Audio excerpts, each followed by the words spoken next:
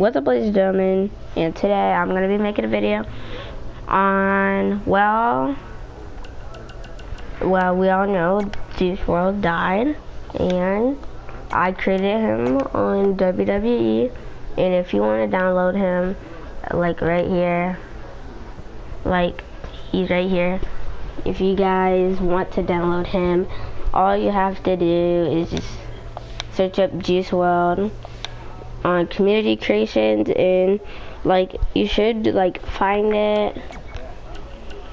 I don't I didn't really put a move it or an entrance to be honest. If you would like to do that then you could but honestly I just didn't because well I didn't real I just worked on the character honestly.